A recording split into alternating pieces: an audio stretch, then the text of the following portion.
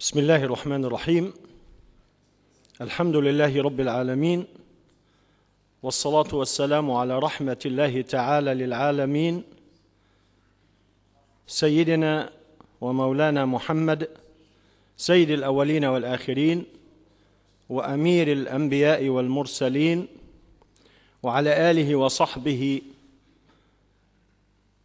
أجمعين والتابعين بإحسان إلى يوم الدين وعنا معهم برحمتك يا أرحم الراحمين. وبعد فسلام الله تعالى عليكم ورحماته حواليكم وبركاته واصلة بفضله تعالى إليكم. ويطيب لي أولا أن أتقدم بخالص شكري وصادق تقديري إلى دولة الإمارات العربية المتحدة أميرا وحكومة وأمراء وشعبا على دورها الرائد في رعاية الجهود العلمية الإسلامية في الداخل والخارج. وأخص بالشكر وصادق الاحترام راعي هذا المؤتمر سمو الشيخ الدكتور سلطان القاسمي حفظه الله عضو المجلس الأعلى حاكم الشارقة على جميل وكريم رعايته الدينية والاجتماعية لأهله وذويه من أهل الشارقة عامة ولأولاده من طلاب العلم خاصة فجزاه الله تعالى خير الجزاء.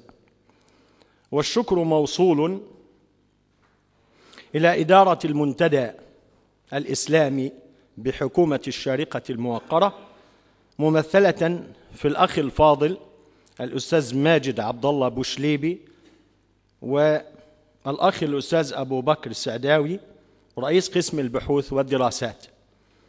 وأسأل الله تعالى لهما ولكل إخوانهما بالمنتدى دوام التوفيق والسداد. ثم أثني بتحية الإخوة الحضور وإن كان ثم أخوات حاضرات فلا يفوتنا تحيتهن أيضا. وطبتم وطاب ممشاكم وتبوأتم من الجنة منزلة.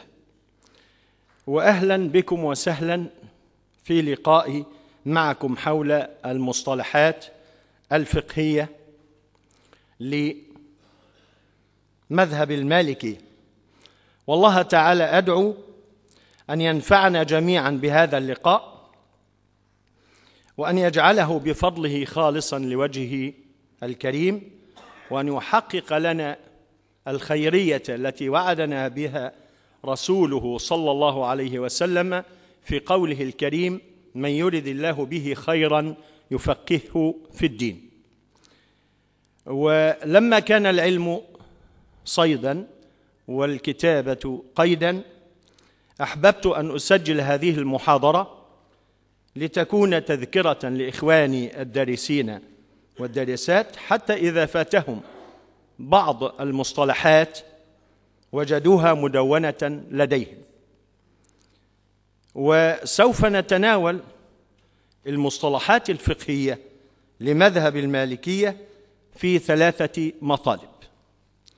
المطلب الأول في المصطلحات العامة والتي تتعلق بالأحكام الفقهية والفتوى. المطلب الثاني في بعض مصطلحات المالكية في الأبواب الفقهية. والمطلب الثالث في مصطلحات خاصة بالأعلام والمؤلفات. وذلك بعد تمهيد لمعنى المصطلحات ومصطلحات المالكية خاصة أصدر به المطلب الأول. وتكتمل الفائدة لو أمكن الحصول على مؤلفي بعنوان دليل السالك للمصطلحات والأسماء في فقه الإمام مالك. نشرته مكتبة ابن سينا بالقاهرة. لو أمكن الحصول عليه لأنه يتضمن يعني بحسب عنوانه مصطلحات في مطالب ثلاثة. مصطلحات عامة تهم كل فقيه أو كل من يشتغل بالفقه. مصطلحات خاصة بالمذهب المالكي. مصطلحات مالكية في الأبواب الفقهية. مصطلحات متفقة رسما ومبنى ومختلفة فحوا ومعنى ويعيب بالمشتغل بالفقه ألا يلم بها. والأسماء قصدت بها أسماء المؤلفات والمؤلفين لأن بعض المؤلفين يختلط بعضهم ببعض لدى بعض الدارسين من مثل ابن رشد الجد أو الحفيد الزرقاني الأب أو الابن من مثل النطق بكلمة الشيخ الخرشي محمد عبد الله الخرشي أول من تولى مشيخة الأزهر في مصر. فكثير من مشايخنا كانوا ينطقون الكلمة الخرشي ويقولون من باب الطرفة الخرشي في كرشي الخرشي في كرشي. فلما حققت الاسم ودققت فيه ورجعت إلى المراجع وجدت أنه الخرشي وليس الخراشي ولا الخرشي ولا الخرشي كما هو مكتوب على بعض الكتب التي طبعتها بعض الدول يعني. وبالتالي لا يفرق بعضهم أيضا بين الشرح الصغير والشرح الكبير وكلاهما للإمام الدردير. آه، وما إلى ذلك فتكتمل هذه الفائدة لو أمكن الحصول على مثل أو على هذا الكتاب آه، بوجه خاص. إذا ما بدأنا بالمطلب الأول ونمهد له بمعنى المصطلحات عامة. في اللغة اصطلح القوم زال ما بينهم من خلاف واصطلح القوم على أمر تعارفوا عليه واتفقوا ويقال تصالحوا أي اصطلحوا. والاصطلاح مصدر اصطلح واتفاق طائفة على شيء مخصوص ولكل علم اصطلاحاته.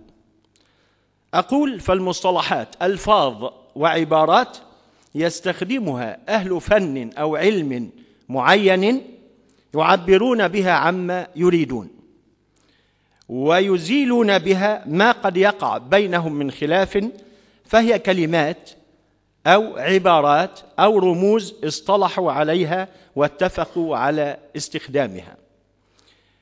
بالنسبة لمصطلحات المالكية خاصة أقول فيها في سبب تأليفي لدليل السالك أني من خلال دراستي لمذهب المالكية وتدريسي له أيضا كان البعض من إخواننا من المذاهب الأخرى يقولون عندكم يا مالكية عبارات صعبة وغير مفهومة فنريد تعريفا لها. كنت أبحث وآتي بالتعريف لهذا المصطلح وأحتفظ لنفسي بما عثرت عليه حتى تكون من ذلك وغيره كتاب دليل آه، السالك للمصطلحات والأسماء في فقه الإمام مالك. ونبدأ بأهم المصطلحات المالكية وهي مشتركة بينهم بين المالكية وبين بقية المذاهب في الاسم اشتراك. لكن أحيانا يحصل نوع من التميز أو من السمة والخصيصة لمذهب المالكية وعفوا يعني لا يفوتني في هذا المجلس وفي هذه الجلسة الطيبة أن أحيي وأبارك حضور شيخي وأستاذي أستاذي المالكي المالكية الأوحد في جمهورية مصر العربية الآن أستاذي الأستاذ الدكتور أحمد طه ريان أمد الله تعالى في عمره ونفع به طلابه آه، وطالباته من أهل العلم أيضا. الفرض والواجب كما هو معلوم لفظان مترادفان عند جمهور الفقهاء عدا الحنفية. فالفرض عند الحنفية هو ما ثبت بدليل قطعي والواجب ما ثبت بدليل ظني. هذا هو المشهور وخوفا من تفلت الوقت من بين أيدينا لن أتقصى المعنى في اللغة والاصطلاح. إن تيسر لإخواننا في المنتدى بارك الله في جهودهم طبع هذه المحاضرة كغيرها من المحاضرات السابقة واللاحقة إن شاء الله تكون بين أيديكم فيجزيهم الله تعالى ويجزيكم خير الجزاء. لكن يستثنى من هذا التعريف في الفرض والواجب باب الحج. فالفرض فيه هو الركن وهو ما لا ينجبر تركه بدم. الأركان الحج الأربعة عند الجمهور عدا الحنفية هي الفرائض التي لا ينجبر تركها بدم. أما الواجب أو الواجبات فهو ما ينجبر تركه بدم وقد يطلق على هذه الواجبات السنن الواجبة أو المؤكدة.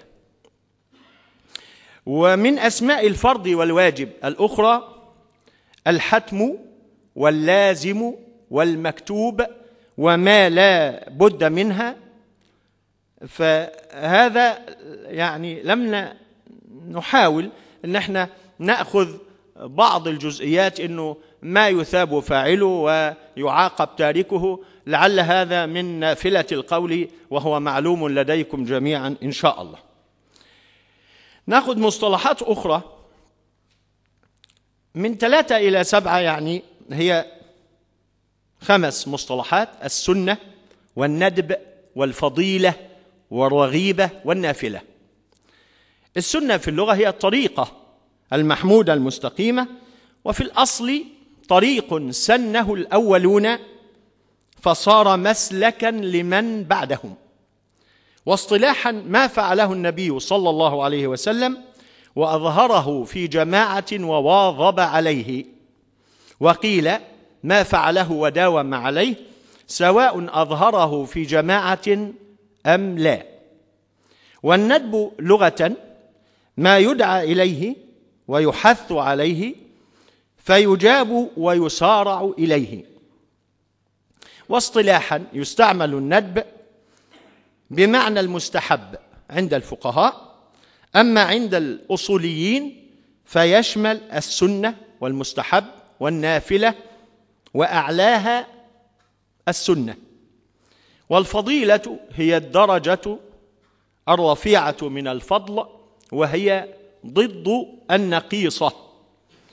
والرغيبة ما يرغب من الثواب العظيم ما يرغب فيه من الثواب العظيم أي الأمر المرغوب فيه. لذلك يطلق المالكية كلمة رغيبة على ركعتي الفجر اللي هم السنة. أما النافلة فهو أو فهي ما يفعله الإنسان مما لا يجب عليه أي يفعله تطوعا. وقد يسمى المستحب فضائل أو رغائب. وقال الشيخ الأمير في حاشيته ضوء الشموع على مجموع الأمير في باب الوقت المختار غير المالكية يعبر عن المندوب بالسنة. يعبر عن المندوب بالسنة مريدا بها الطريقة والعراقيون من المالكية كذلك يعبرون. أي يعبرون بلفظ المندوب عن المسنون. وبناء على ما تقدم يمكن وضع التعريفات الآتية للسنة ما طلبه الشارع وأكد أمره وعظم قدره وكثر أجره ولم يدل دليل على وجوبه. المندوب ما ندب إليه الشارع واستحب فعله ولم يدل أيضا دليل على وجوبه وهو ما يحمد فاعله ولا يذم تاركه. فالسنة بذلك ترادف المندوب والمستحب لكن السنة أعلى الجميع. الفضيلة ما طلبه الشارع وخفف أمره ولم يؤكده. أو ما فعله النبي صلى الله عليه وسلم في غير جماعة ولم يواظب عليه. الرغيبة ما داوم النبي صلى الله عليه وسلم على فعله بصفة النوافل ورغب فيه كركعتي الفجر. النافلة ما قرر الشارع أن في فعله ثوابا من غير أمر به أو ترغيب فيه أو مداومة على فعله. المصطلحان آخران هما الحرام والمكروه والحرام ضد الواجب وهو ما توعد الله على فعله بالعقاب فهو ما يعاقب على فعله ويثاب على تركه. ومن مترادفات الحرام المحظور والمنهي عنه والإثم والمعصية. والمكروه ضد المستحب. وهو ما كان في تركه ثواب ولم يكن في فعله عقاب وإن شئت قلت يعني قد يكون فيه عتاب لأنه غالبا يكون آه، فيه ترك سنة فهو ما طلب الشارع تركه طلبا غير جازم بحيث يثاب على تركه امتثالا ولا يعاقب على فعله. وسماه ابن رشد في المقدمات سماه المتشابه. وهو المرتبة بين الحلال وبين الحرام. الحلال بين والحرام بين كالحديث الشريف وبينهما أمور متشابهات. هذا المتشابه هو المكروه كما سماه ابن رشد. المصطلح اللي بعد ذلك الجواز والمباح. الجواز لغة ما جاز لك صنعه وفعله أو ما ساغ ويأتي بمعنى التساهل والتسامح وعدم المؤاخذة. واصطلاحا ها هنا الفرق استخدم المالكية الجواز في عدة معان منها. المستوي الطرفين جائز مستوي الطرفين. كقوله باب الصيام تجوز المضمضة للعطش. واستخدموه أيضا بمعنى خلاف الأولى يعني الأولى تركه كقولهم في ذات الباب أي الصيام ويجوز له الإصباح بالجنابة والإصباح هنا أي طلوع الفجر عليه فالأولى أن يغتسل يتطهر التطهر الأكبر قبل النوم لكن جاز له الإصباح بالجنابة كما حصل منه صلى الله عليه وسلم. عندما تقدم لصلاة الصبح مرة فتذكر أنه جنب فقال لأصحابه رضي الله تعالى عنهم مكانكم ثم دخل واغتسل وعاد وشعره يقطر ماء. لكنه خلاف الأولى لأن الإنسان لا يدري كما في كلام عبد الله بن عمر رضي الله عنهما إذا أصبحت فلا تنتظر المساء وإذا أمسيت فلا تنتظر الصباح. ما قابل المحرم كقولهم ويجوز للصائم السواك في جميع نهاره. آه، المأذون فيه كقول الشيخ الدردير وجاز الصلح. نعم والصلح خير لكنه عبر بهذا اللفظ. جاز نظرا لحديث النبي صلى الله عليه وسلم الصلح جائز بين المسلمين إلا صلحا أحل حراما أو حرم حلال يأتي بمعنى لا بأس. كقول الإمام رحمه الله في باب الخلع لا بأس بأن تفتدي المرأة من زوجها بأكثر مما أعطاها. ودي مسألة خلافية بين الفقهاء. أما المباح فهو خلاف المحظور. آه، ويأتي بمعنى الحلال فكل شيء أباحه الله فهو حلال. واصطلاحا ما لم يكن في فعله ثواب ولا في تركه عقاب يعني لا يتعلق به مدح ولا ذم نحو القيام والقعود والنوم والأكل والشرب والحركة والسكون.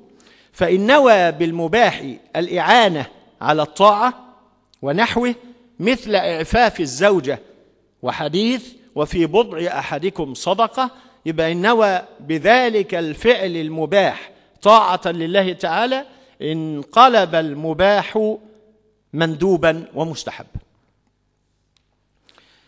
آه، اللفظان التاليان الباطل والفاسد. الباطل لغة نقيض الحق والجمع أباطيل على غير قياس. والفاسد لغة نقيض الصالح ومنه المفسدة خلاف المصلحة. واصطلاحا اسمان لمسمى واحد الباطل والفاسد. كلاهما يقابل معنى الصحة وذلك عند جمهور الفقهاء عدا الحنفية أيضا. فالحنفية عندهم الباطل ما لم يشرع بأصله ولا بوصفه والفاسد ما شرع بأصله دون وصفه وعلى ذلك أمثلة كثيرة.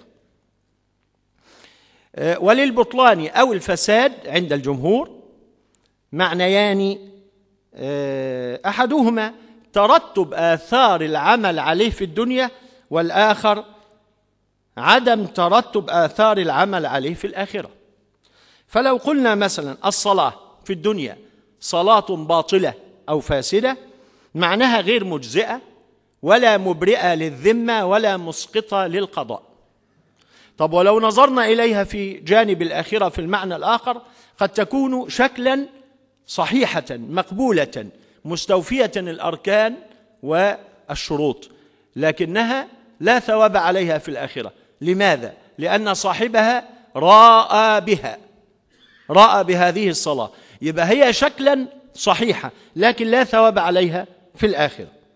وكذلك يقال في المعاملات نكاح باطل في المعنى الأول يعني لا يترتب عليه استباحة الوطأ والاستمتاع بين الزوجين فهذا نقول عنه نكاح باطل أو نكاح فاسد لا يترتب عليه هذا الأمر في الدنيا.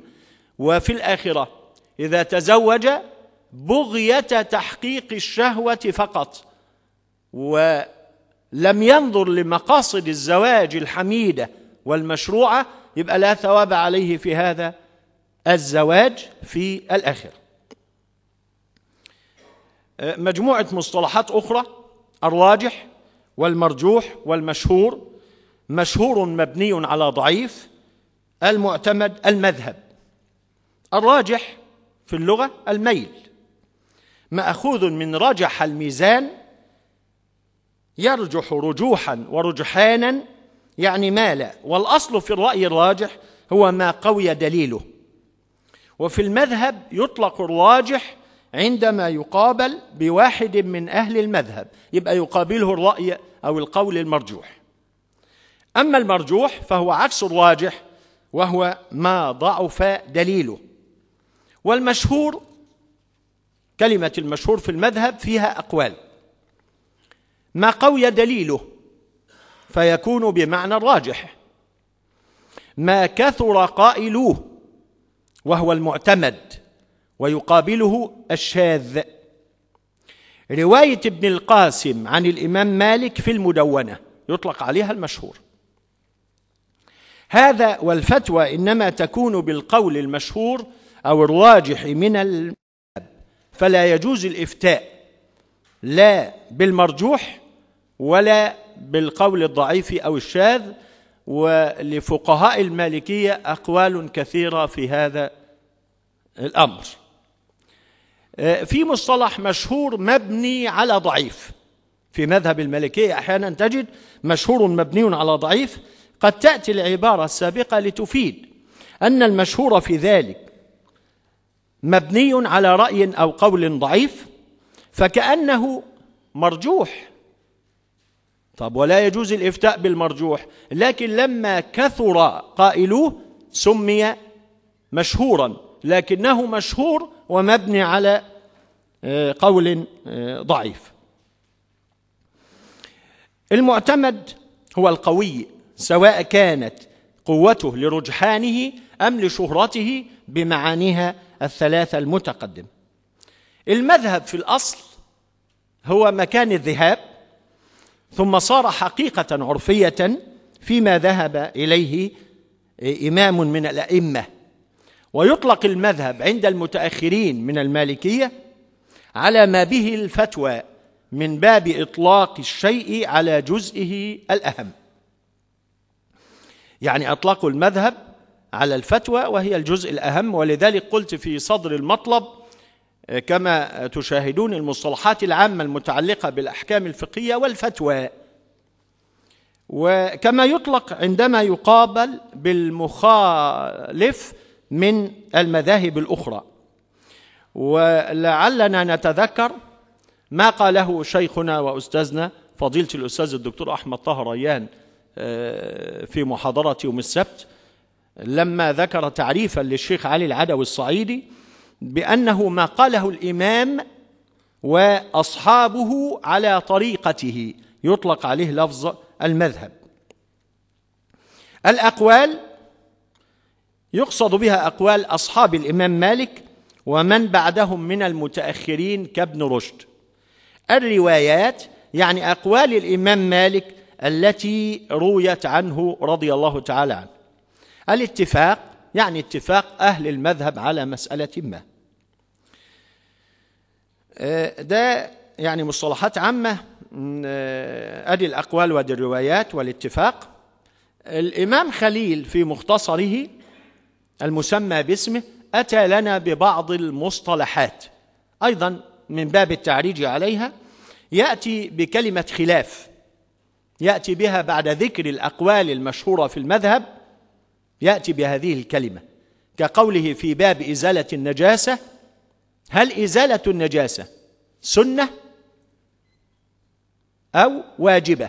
يعني ده بعد كلام بين الكلمتين. هل إزالة النجاسة سنة أو واجبة؟ خلاف.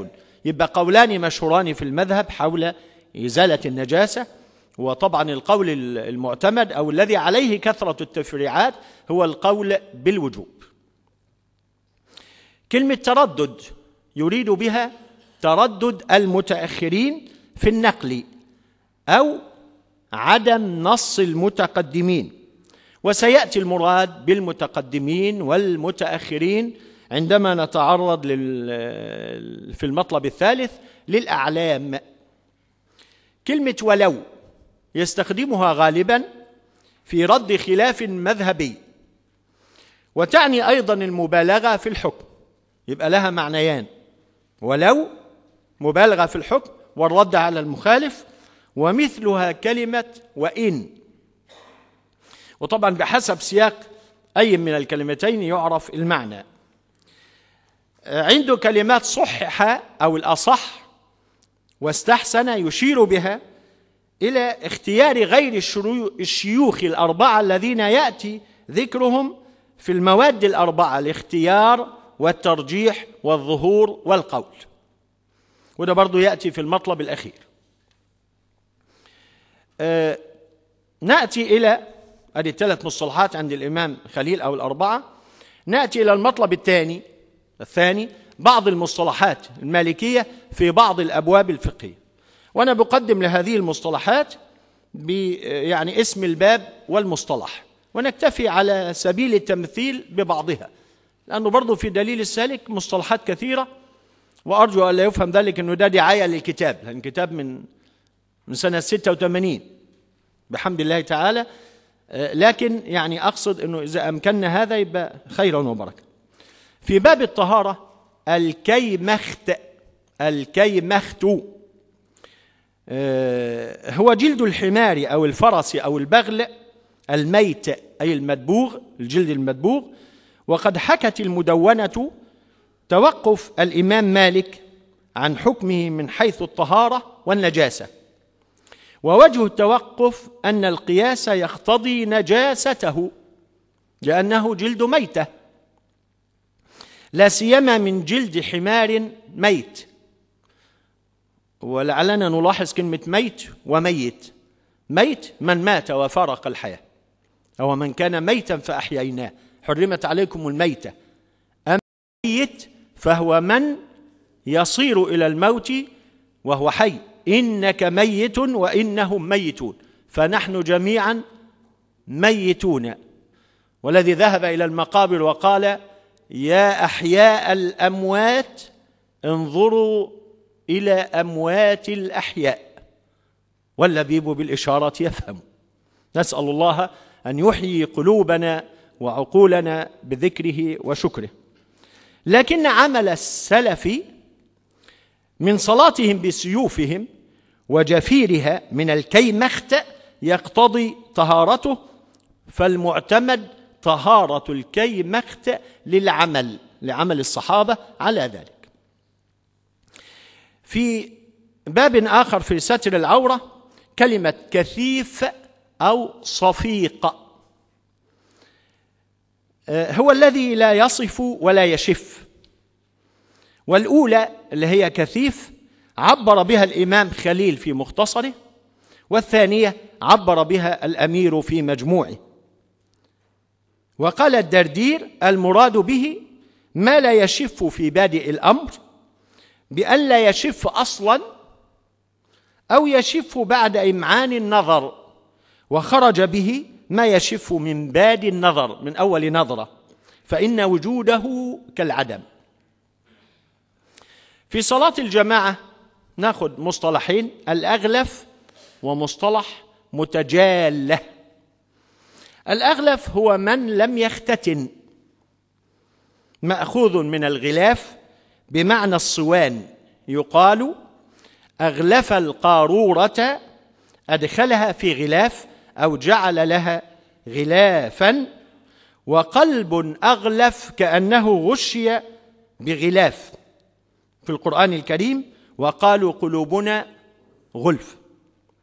والغلام الأغلف الذي لم تقطع غرلته لم يختتن. طيب وإيه مناسبة الكلمة هنا؟ الراجح في المذهب أدي في الفتوى كراهة إمامة الأغلف مطلقا. يعني لو أن إماما لم يختتن يبقى تكره إمامته مطلقا أي سواء كان إماما راتبا أو غير راتب. متجالة. لا إرب للرجال فيها. لا حاجة. كما فسرها الدردير. وقال الشيخ الصاوي في بلغة السالك لم تنقطع حاجة الرجال منها بالجملة. يعني لسه ما سلمتش النمر كاملة. ها؟ وهي تخرج للمسجد للفرائض وطلب العلم ومجالسه ويقضى على زوجها بذلك أن يحكم عليه بذلك إذا طلبته هي. يعني طلبت الخروج ومنعها. يبقى يحكم القاضي على الزوج أنه اسمح لها بالخروج لأنها متجالة ليست شابة صغيرة ولا غير ذلك. في الزكاة ناخذ أربع مصطلحات. الزيوت الأربع. يقصد بها الزيتون والسمسم والقرطم أو القرطم. يعني بضم القاف والطاء أو بكسرهما. اللي هو حب العصفر وحب الفجل الأحمر والأحمر صفة للفجل لا للحب وده موجود في بلاد المغرب يعرفه أهل الغرب أو المغرب لكن في مصر عندنا الفجل الأبيض ملوش زيت. ها؟ ده إذا أكل يعني. المصطلح الثاني القطاني السبعة جمع قطنية أو قطنية بضم القاف أو كسرها وتخفيف الياء أو تشديدها هي الحبوب التي تدخر وسميت بذلك لأنها تقطن في البيوت يقال قطن إذا أقام وهي البسيلة بالياء وقول العوام البسلة بدون الياء لحن آه الترمس آه على وزن بندق الجلبان أو الجلبان في في الوارد الاثنين. والحمص بكسر الحاء والميم المشددة المفتوحة أو المكسورة. حمص أو حمص. والعدس بالفتحتين كما ورد في القرآن الكريم. الفول مشهور. اللوبيا بالقصر والمد. هذه الأصناف يضم بعضها إلى بعض في الزكاة لأنها كجنس واحد. بخلاف المبادلة في البيع فهي فيه أجناس يعني التفاضل في نوع أو في جنس منها مع جنس آخر يعتبر ربا. المدير والمحتكر.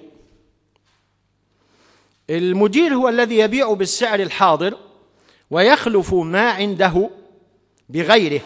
كأرباب الحوانيت وأرباب الصنائع كالحاكة خياطين عنده قماش يفصل منه ويبيع منه ويخلف غيره والتجار المتنقلين أو المقيمين.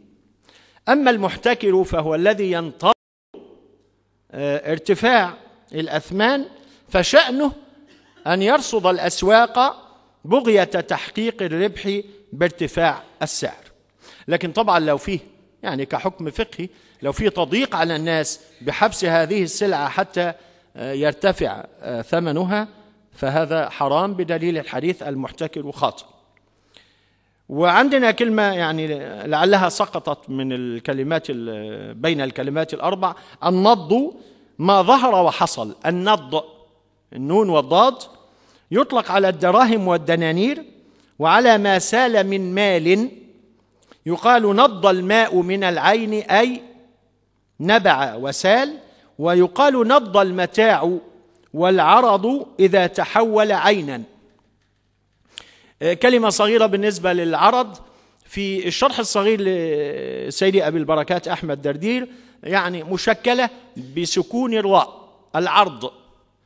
لكن لما نبحث أيضا نجد هذه الكلمة العين والراء والضاد عندما تختلف عليها حركات التشكيل يختلف المعنى. فلو قلنا العرض العرض ضد الطول. العرض ضد الطول. والعرض موضع المدح والذم بالنسبة للإنسان أو المرأة خاصة. العرض الوسط أو تجاه. قذفت بالحجر عرض الحائط أو عرض البحر. العرض الأولى فيه مع أنه في اللغة أيضا يأتي فيه السكون لكن الأولى كما في القرآن الكريم عرض الحياة الدنيا. لو كان عرضا قاصدا. فالأولى في العرض أن يقال بفتح الراء وهو ما سوى الدنانير والدراهم. ما عدا الدنانير والدراهم يقال له عرض. أما الدنانير والدراهم فيطلق عليها العين أو النقدين. عندنا كلمة التمعيش الأخيرة. إيه التمعيش؟ ذكره هذا المصطلح الشيخ الصاوي في خاتمة نهاية باب الزكاة. فقال لا يجوز اصطياد القرد أو الدب لأجل التفرج عليه والتمعيش به. ومعلوم إن في ناس زمان كانوا عندنا في ريف مصر يأتوا بالقرد ويقولوا له اعجن عجين الفلاحة واطبخ كذا واعمل كذا. مثل هذه الأمور هو يقول لا يجوز. هذا لا يجوز. هذا مخلوق من مخلوقات الله. وإلا ممكن برضه حد يقول لنا طب ما هي حديقة الحيوان موجودة والناس بتروح تتفرج. لكن هذا ممكن لنواحي علمية أو تعليمية لأولادنا أو الصغار ليعرف أن هذا أسد وهذا دب وهذا قرد وما إلى ذلك. والتمعيج به يبقى عبارة الشيخ الصاوي لا يجوز اصطياد القرد أو الدب لأجل التفرج عليه والتمعيش به لإمكان التمعيش بغيره. فلما نظرت في اللغة وجدت التعيش تكلف أسباب المعيشة والمتعيش ذو البلغة من العيش. فالمراد إذن بهذا المصطلح اتخاذ القرد ونحوه أي من الدواب والحيوانات لجعله وسيلة لاكتساب العيش. نأتي في الأيمان نأخذ بساط اليمين. هو السبب الحامل على اليمين إذ هو مظنتها فليس فيه انتفاء النية بل هو متضمن للنية وهو نية حكمية كما في مجموع الأمير وهو من باب القرائن. وناخذ طرفه على هذا. مثل من حلف بطلاق زوجته لا يأكل بيضا حلف بالطلاق إنه لا يأكل بيض. ثم وجد في حجر زوجته شيئا مستورا لم يره. فقالت له لا أريكه حتى تحلف بالطلاق لتأكلن منه. فحلف بالطلاق إنه يأكل منه. ما هي رخرة فقيهة. هي عاوزة تتطلق منه. فمخبية البيض وقالت له الحب بالطلاق إنك تأكل منه. فحلف بالطلاق. هل يقع طلاقه الأول؟ أو هل يلزمه أن يأكل منه؟ أدي بساط اليمين. يبقى الحكم فإنه لا شيء عليه إذا ما كان في حجرها بيضا. إذا اكتشف إنه بيض ولا يأكل منه. لماذا؟ أدي بساط اليمين لأن بساط يمينه أنه يأكل ما لم يمنعه من الأكل مانع. والمانع إنه مش عاوز يطلق مراته. يبقى ما يأكلش من البيض ولا شيء عليه. في باب النكاح ثلاث مصطلحات. اثنان متلازمان خلوة الاهتداء وخلوة الزيارة ونكاح السر. آه، خلوة الاهتداء مأخوذة من الهدوء والسكون لأن كل واحد من الزوجين سكن للآخر واطمأن إليه وهي المعروفة عندهم بإرخاء الستور. سواء أكان هنا هناك إرخاء سطور أم غلق باب أم غيره. أما الثانية اللي هي خلوة الزيارة هي الحاصلة من زيارة أحدهما للآخر. وفي الشرح الكبير للدردير على مختصر خليل وصدق الزائر منهما في شأن الوطء إثباتا أو نفيا فإن زارته صدقت في وطئه. ولا عبرة بإنكاره. قال لم أطأ لأن العرف نشاطه في بيته. وإن زارها في بيتها صدق في نفيه. ولا عبرة بدعواها الوطء لأن العرف عدم نشاطه في بيتها. والعرف كما علمتم من أستاذنا وشيخنا من خصائص وسمات العرف والعادة المذهب المالكي. فإن كان زائرين أي لغيرهما واجتمع عنده صدق الزوج في نفي الوطن. نكاح السر هو ما أوصى فيه الزوج أدي الفاعل الشهود بكتم نكاحه عن زوجته الأولى مثلا أو عن جماعة ولو أهل منزله. أما إن أوصى الزوج الولي فقط أو الزوجة فقط فليس بنكاح سر عند المالكية. المضر فيه أن يوصي الزوج الشهود بالكتم. كذلك لو أوصى الولي أو الزوجة الشهود بالكتم لا يضر. المهم أن الزوج لم يوصي. أو اتفق الزوجان والولي على الكتم دون إيصاء الشهود فلا ضرر. في أنواع من البيوع ناخذ الاستئمان أو الاسترسال. نص عليهما المالكية خاصة وهو بيع يتوقف صرف قدر ثمنه على علم أحدهما. وهو أن يقول المشتري للبائع مثلا بع لي بسعر السوق أو بما تبيع للناس. ففيه نوع من الأمانة استئمان طلب الأمان. ويحرم في هذا البيع كغيره الغش والتدليس بالعيوب يعني أن يكون البائع أمينا فيما يبيع للمشتري. وعندنا الحطيطة. هو بيع آه، عند المالكية يسمى الوضيعة.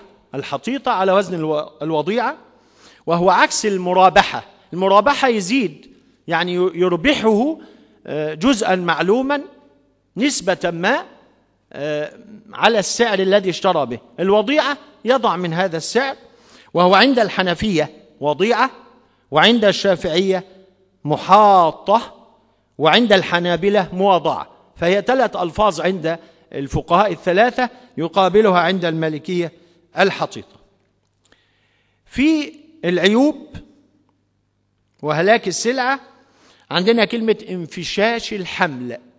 انفشاش. قال المالكية إن انفش الحمل فلا شيء له وهو انفعال من الفش بأن بان بأنه لا حمل فكأنه كان ريحا في بطن البهيمة. يعني لو اشتراها على أنها حامل وبان أنها ليست حامل لا شيء لا شيء له يعني في المقابل. أما طبعا في الأسواق والعرف والعادة في أسواق آه، أعزكم الله البهائم في جساس بيجس ويقول دي حامل أو عشر أربعة أو خمسة ويشتريها المشتري على هذا. وأحيانا يبقي المشتري يعني جزء من المال ليتأكد من أن البهيمة يعني آه، بها الخصائص أو المسائل المميزة في باب الرهن ما يغاب عليه. مصطلح لا يستخدم في عند غير المالكية فيما أعلم. ومأخوذ من الغيب. فكل ما غاب عنك يبقى غيب. والمقصود به عند المالكية ما يمكن إخفاؤه وتغييبه مثل الثياب والحلي. يبقى ده يغاب عليها. أما ما لا يغاب عليه يعني لا يمكن إخفاؤه فكالعقار والحيوان. وأنا أخذت من مشايخي يعني رضي الله تعالى عن الأحياء ورحم الله تعالى الأحياء والأموات بعض الطرفة في مجلس العلم. تعرفون جحا؟ راح واحد مرة يأخذ منه الحمار. أعطيني حمارك يا جحا أقضي عليه مصلحة. قال الحمار مش موجود. ليس في البيت. شاء الله أن ينهق الحمار. ينهق. فقال له يا جحا تقول لي الحمار مش موجود والحمار بينهق جوه؟ فقال له هتصدقني ولا تصدق الحمار؟ آه. صدق الحمار. في الفرائض والمواريث عندنا مسألتان العالية أو المالكية وأخت المالكية أو شبه المالكية المسألة الأولى صورتها اللي هي العالية أو المالكية أن تترك المتوفاة جدا وأما وزوجا وإخوة لأم وأخ لأب. مذهب المالكية في توزيع المسألة جد وأم وزوج وإخوة لأم وأخ لأب. الملكية يقولون للأم السدس فرضا وللزوج النصف. طبعا الأم السدس لوجود جمع من الإخوة وللزوج النصف لعدم وجود فرع وارث وللجد ما بقي وهو الثلث. ولا شيء للإخوة لأم. لماذا؟ لأن الجد يحجبهم. ولا للأخ للأب. طب ليه يا مالكية ما أعطتوش الأخ الأب؟ لأن الجد يقول له لو كنت مكاني لم ترث شيئا. ليه؟ لأن ذوي الفروض أصحاب الفروض أخذوا المال بوراثة الإخوة للأم. الجد مش موجود الإخوة الأم لا يحجبهم أحدا يأخذون الثلث. وبالتالي لما حجبتهم أنا كجد كنت أحق بالمال منك يا سيد أخ الأب. أما مذهب زيد بن ثابت رضي الله تعالى عنه فهو إعطاء الجد السدس ومثله الأخ لأب وهو قول ابن يونس من المالكية. لأن الإخوة لأب يقولون للجد أنت لا تستحق شيئا من الميراث إلا إذا شاركناك فيه. الإخوة لأم يحجبهم الجد والأب والفرع الوارث. لكن الإخوة الأشقاء أو الأب ورد فيهم خلاف بين الصحابة رضي الله عنهم وبين الفقهاء. والراجح أنهم يأخذون مع الجد إما بالمقاسمة أو لا يقل نصيبه عن السدس أو ما إلى ذلك مما هو يعني معروف في بابه في باب الفرائض أو المواريث. لهذا يقول المالكية إن مذهب الإمام مالك موافق لمذهب زيد بن ثابت في الفرائض كلها إلا في المالكية. هذه واحدة. وأخت المالكية. إيه أخت المالكية؟ أو شبه المالكية صورتها أن يكون في المسألة السابقة مكان الأخ لأب أخ شقيق أو إخوة وأخوات أشقاء.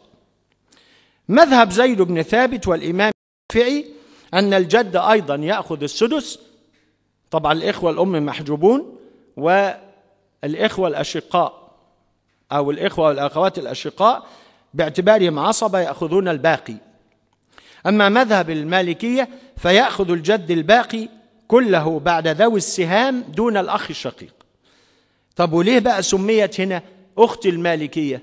لأن الإمام مالك رحمه الله لم يكن له فيها رأي. يعني كأنها لم تعرض عليه وإنما ألحقها أصحابه بالمسألة المالكية فقالوا أخت المالكية أو شبه المالكية نكتفي بهذا القدر من المصطلحات في المطلب الثاني. نعم؟ عند الإمام زيد بن ثابت نعم. سيدنا زيد يأخذ السدس والإخوة والأخوات الأشقاء يأخذون السدس الآخر. المطلب الثالث والأخير وأنا هتأسى بشيخي في إنهاء المحاضرة. فضيلة أستاذنا السابق في المحاضرة الأولى يعني أخذ أو سحب البساط والوقت من تحت قدمه لكن عندنا إن شاء الله فرصة لننهي يعني هذه المحاضرة على خير ونسأل الله التوفيق للجميع. لما نقول مصطلحات خاصة بالأعلام والمؤلفات فنبدأ أولا بالمصطلحات الخاصة بالأعلام. وأئمة المذهب.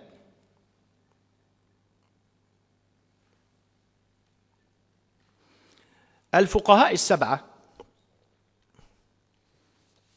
هم سعيد بن المسيب عروة بن الزبير القاسم بن محمد بن أبي بكر الصديق خارجة بن زيد بن ثابت عبيد الله بن عبد الله بن عتبة بن مسعود سليمان بن يسار أدي ستة واختلف في السابع. فقيل أبو مسلمة بن عبد الرحمن بن عوف وقيل سالم بن عبد الله وقيل أبو بكر بن عبد الرحمن. هؤلاء يطلق عليهم الفقهاء السبعة. المدنيون أي أئمة المذهب من أهل المدينة على ساكنها أفضل الصلاة وأتم التسليمات. ابن كنانة ابن الماجشون مطرف أو مطرف. يعني كلا اللفظين صحيح كمصحف ومصحف. مصحف ومصحف يبقى مطرف ومطرف. ابن نافع ابن مسلمة ونظرائهم. فلعل أنا يمكن سبق لسان لما قلت في السابع قيل أبو سلمة ابن عبد الرحمن ابن عوف. فالمدنيون مرة أخرى ابن كنانة ابن الماجشون مطرف أو مطرف ابن نافع ابن مسلمة ونظرائهم. المصريون مش متعصب للمصريين لكن يعني بالترتيب عشان فيهم ابن القاسم الذي صاحب الإمام مالك رحمهم الله تعالى عشرين سنة فكان أعرف أصحابه بأقواله.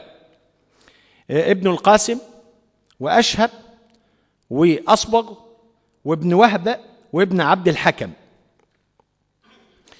وده برضو كان ملازم للإمام الشافعي رحمه الله. العراقيون القاضيان إسماعيل وعبد الوهاب. والقاضي عبد الوهاب يعني بارك الله في جهود فضيلة أستاذنا الدكتور أحمد نور سيف في مؤتمره الأول في دار البحوث. نسأل الله لها الإحياء مرة أخرى. كان المؤتمر الأول عن القاضي عبد الوهاب البغدادي المالكي وكان لي شرف مصاحبة أستاذي في هذا المؤتمر. يبقى القاضيان إسماعيل وعبد الوهاب وابن القصار وابن الجلاب وأبو بكر الأبهري. ننتقل للمغاربة. ابن أبي زيد القيرواني صاحب الرسالة والنوادر والزيادات كما يأتي. اللخمي ابن رشد ابن شعبان الباجي ابن القابسي ابن عبد البر ابن العربي وغيرهم. المتأخرون والمتقدمون وعدنا أن نتحدث عنهم فده مصطلح للمالكية. يريدون بالمتقدمين من هم قبل ابن أبي زيد القيرواني وبالمتأخرين من جاءوا بعد ابن أبي زيد القيرواني. لما ذكرت لحضراتكم مصطلح تردد الذي يذكره الإمام خليل قلنا تردد يريد به. تردد المتقدمين في النقل أو تردد المتأخرين في النقل عن المتقدمين أو عدم نص وجده للمتقدمين. الفاصل بينهما ابن أبي زيد القيرواني. فمن قبله يطلق عليهم المالكية متقدمين. ومن بعد ابن أبي زيد يطلقون عليهم متأخرين. الشيخ الأمير استخدم مصطلحات فسرها في حاشيته ضوء الشموع على المجموع. الشيخ الأمير له المجموع وشرحه شرح المجموع ثم آه، حاشيته ضوء الشموع على المجموع. وكان لي شرف يعني آه، في رسالة الماجستير أطروحة الماجستير وسنة 83 بعنوان الشيخ الأمير وأثره في الفقه المالكي وشرفت أيضا في وقتها قلت أكرمني الله تعالى بشيوخ المالكية الثلاثة في هذا العصر سنة 83 آه، الشيخ فضيلة الشيخ صالح موسى شرف رحمه الله فضيلة الأستاذ الدكتور عبد الجليل سعد القرنشاوي رحمه الله وفضيلة أستاذنا الدكتور أحمد طه ريان أمد الله تعالى في عمره. فأقول الآن بقي لنا من المالكية شيخ أوحد متفرد في مصر هو شيخنا الأستاذ الدكتور أحمد طه ريان. بارك الله في عمره وجهوده. شيخ الأمير استخدم مصطلحات منها هذه مصطلحات التي فسرها في حاشية ضوء الشموع. مصطلح الأخوان. ابن الماجشون ومطرف أو مطرف. فالأخوان ابن الماجشون ومطرف أو مطرف. ها؟ ما, ما الإشكال؟ الأمير بالراء. شيخ الأمير صاحب المجموع في الفقه المالكي. وادعوا لي بطول العمر أيضا كما أدعو لكم جميعا لأني أحقق في مجموع الأمير وأسأل الله تعالى آه، يعني أن يمد في عمري حتى أنتهي من تحقيقه. لأني لا أجد سوى أستاذنا طبعا وهو يعني وقته مشغول. من يستطيع أن يحقق المجموع؟ باعتبار مارست المجموع والشرح عليه وما إلى ذلك عدة أو سنوات طوال. مصطلح الشيخان طبعا لكل كما قلت في الصدر المطلب الأول لكل فن أهل علم مصطلحاته. فالشيخان مثلا عند أهل الحديث البخاري ومسلم وعند الحنفية الإمام أبو حنيفة وأبو يوسف. طب وعند المالكية؟ ابن أبي زيد الخيرواني والقابسي. القرينان القرينان أشهب وابن نافع. القاضيان إسماعيل وعبد الوهاب البغدادي. المحمدان محمد بن سحنون ومحمد بن المواز كذلك استخدم الإمام خليل مصطلحات في مختصره يشير بها إلى الأعلام والأئمة. أشهد أن لا إله إلا الله وأشهد أن محمدا رسول الله. أما مصطلحات الإمام خليل فتأتي في المطلب يعني في الجزء الثاني من هذا المطلب والذي نختم به هذا المطلب إن شاء الله. سنتمكن إن شاء الله من صلاة العشاء في جماعة في المسجد لمن يريد أو هنا لمن أراد. آه، هذه المصطلحات استخدمها الشيخ خليل مادة الاختيار. قلت لكم هناك أربع مواد سيأتي. يشير بمادة الاختيار إلى الإمام اللخمي. ويشير بمادة الترجيح إلى ابن يونس. وبمادة الظهور إلى ابن رشد الجد وليس الحفيد. ومادة القول يشير بها إلى الإمام المازري. فإن ذكر المادة بصيغة الفعل يعني لو قال رجح أو استظهر أو اختار فذلك لاختيار كل من الأربعة في نفسه. يبقى المادة ننسبها لصاحبها نعرف من قال ذلك من استظهر ذلك من رجح ذلك. وإن ذكرها بصيغة الاسم يعني قال المختار أو الاختيار أو الأرجح أو المرجح فذلك لاختيار كل من الأربعة من الخلاف. يعني إذا اختار أحدهم من نفسه يبقى استخدم الشيخ خليل اللفظ بصيغة الفعل. إذا استخدم اللفظ بصيغة الاسم فمعناها اختار هذا أو رجح هذا أو استظهر هذا من الخلاف. كذلك استخدم الأمير في مجموعه وشرحه مصطلحات أو رموزا لإعلام منها. ده غير المصطلحات اللي فاتت الأخوان والقرينان والشيخان. ألف لام ميم صاد أو الأصل.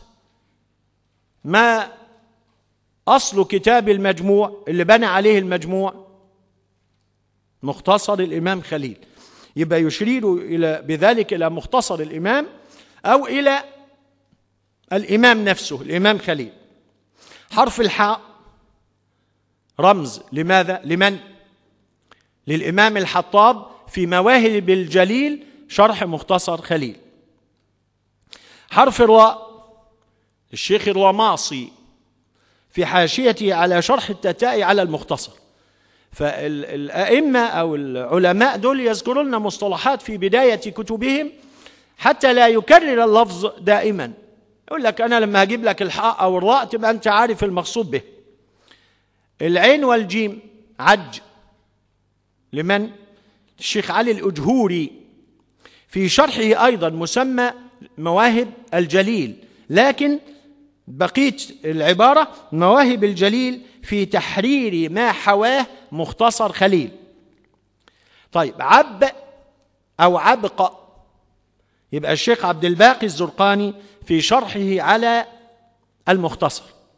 أما الشيخ محمد الزرقاني فله شرحه المشهور على الموطأ. وده ابن وده أب. آه الباء والنون بن للشيخ محمد البناني في حاشيته المسماه الفتح الرباني فيما ذهل عنه الزرقاني. شوفوا حتى السجع بتاعهم لطيف. الفتح الرباني فيما ذهل عنه الزرقان. الشين والباء شب للشيخ إبراهيم الشبرخيتي في شرحه على المختصر الخليلي. شبرخيتي من عندنا من شبرخيت من البحيرة. والشيخ الخرشي عندنا من البحيرة فأنا بعتز بمشايخ البحيرة وبأن شيخي صعيدي. شيخنا الشيخ أحمد طه ريان. وهو الآن شيخ للكل للبحروة والصعايدة. خش الخاء والشين للشيخ محمد عبد الله الخرشي اللي هو أول من تولى مشيخة الأزهر في مصر وهو له شرح أيضا باسمه اسمه شرح الخرشي على مختصر خليل. ولو شلنا النقطة بتاعت الخاء هيبقى حش. حش مين؟ حاشية الشيخ علي العدوي الصعيدي على شرح الخرشي. والشيخ الأمير في مجموعه الشهير أشار إليه العلماء والأئمة الذين جاءوا من بعده. وأنا قلت في مؤتمر القاضي عبد الوهاب عندما ذكرت المختصرات بعد مختصر خليل وآخرها مختصر سيدي أحمد الدردير المشهور باسم أقرب المسالك إلى مذهب الإمام مالك وهو الذي يعني تقوم سمتوها إيه؟ ها؟ مشروع الفقه المالكي بالدليل برئاسة فضيلة الأستاذ الدكتور أحمد نور سيف يأتون بالشرح الصغير لأنه سهل ميسر واعتمد فيه سيدي أبو البركات الدردير على القول المعتمد والراجح. ويأتون بالأدلة لأنه مذهب المالكية يتهم بعدم الأدلة. الأدلة موجودة في كثير من كتبهم في المعونة وفي الإشراف وفي غيره. فلما استعرض أخونا هذه المختصرات فاته الحديث عن مختصر الأمير أو مجموع الأمير. مجموع الأمير لما كتبت فيه رسالة الماجستير قلت الثلاثة الشيخ الدردير نمرة واحد الشيخ الأمير نمرة اثنين الشيخ الدردير نمرة الشيخ الدسوقي نمرة ثلاثة. يبقى الدردير فالأمير فالدسوقي الثلاثة تلاميذ الشيخ علي العدوي الصعيدي أول من أدخل الحواشي في فقه المالكي. فقلت لنفسي لماذا يا شيخ أمير تؤلف الدردير؟ تؤلف مجموع الأمير؟ وعندنا الشيخ الدردير أكبر منك سنا يعتبر أستاذك. بعد الشيخ العدوي الصعيدي ويعني لماذا أنت تؤلف؟ والشيخ الدردير ألف مختصر هو أقرب المسالك. ففوجئت بالبحث طبعا أن الشيخ الدردير ألف مختصره أقرب المسالك بعد الإمام الدردير بعد الإمام الأمير ب 17 سنة. هو أكبر سنا لكن ألف المختصر بعد الأمير ب 17 سنة. الأمير ألف مختصره المسمى باسمه مختصر الأمير أو مجموع الأمير سنتين فقط.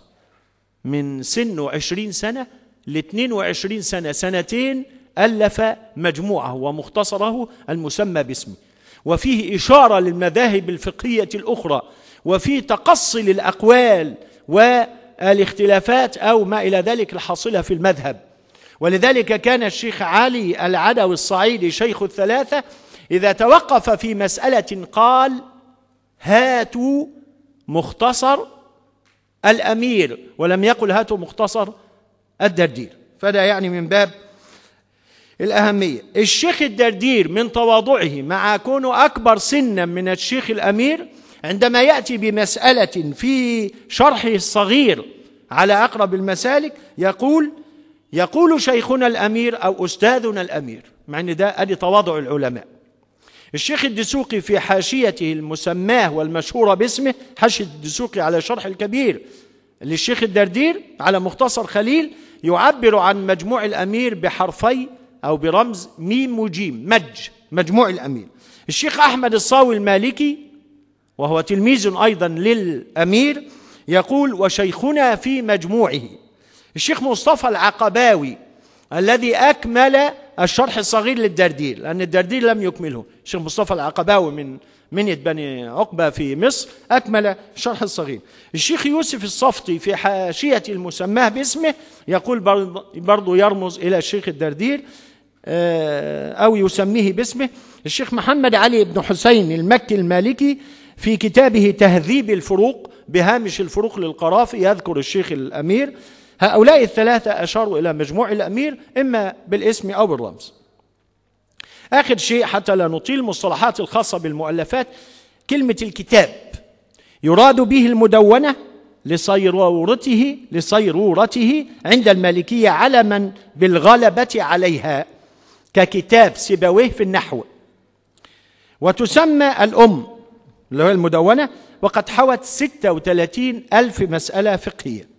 الدواوين والأمهات وتطلق على سبعة المدونة التي هي رواية سحنون عن الإمام ابن القاسم عن الإمام مالك مختلطة للإمام عبد الرحمن بن القاسم هذه نمرة اثنين. وأغلب الظن أنها مخطوطة إلا إذا أبلغني أحد أنها مطبوعة. الواضحة لعبد الملك بن حبيب جمعها من رواياته عن ابن القاسم وأصحابه في الفقه والسنن وانتشرت في الأندلس واعتمد عليها الأندلسيون وشرحها ابن رشد وأخذ منها القرافي عند تأليفه كتابه الذخيرة. العتبية الشيخ محمد العتبي تلميذ ابن حبيب وجمعها من سماع ابن القاسم وأشهب وابن نافع عن الإمام مالك وما سمعه من أصبغ وسحنون وغيرهما عن ابن القاسم. فحازت قبول العلماء فهجروا الواضحة واعتمدوا على العتبية وشرحوها وحشوا عليه. المجموعة للشيخ محمد بن إبراهيم ابن عبدوس وهي من الأمهات إلا أن المؤلف وافته المنية يرحمه الله قبل إكمالها وما كمل منها خمسين كتاب أو خمسين جزء. الموازية لأبي عبد الله بن المواز وهي أصح مسائلا وأبسط كلاما وأكثر استيعابا لفقه مذهب الإمام مالك ورجحها القابسي على سائر الأمهات والدواوين. المبسوطة أو المبسوط في مبسوط في الفقه الحنفي ربما في غيره دي للقاضي إسماعيل بن إسحاق البغدادي من أفضل الكتب الفقهية وأحد الدواوين المشهورة في المذهب ومنها تعرف طريقة البغداديين في الفقه والتأليف. فضل لنا المختصر اللي هو مختصر الإمام خليل المسمى باسمه وعليه دارت رحى كتب المذهب.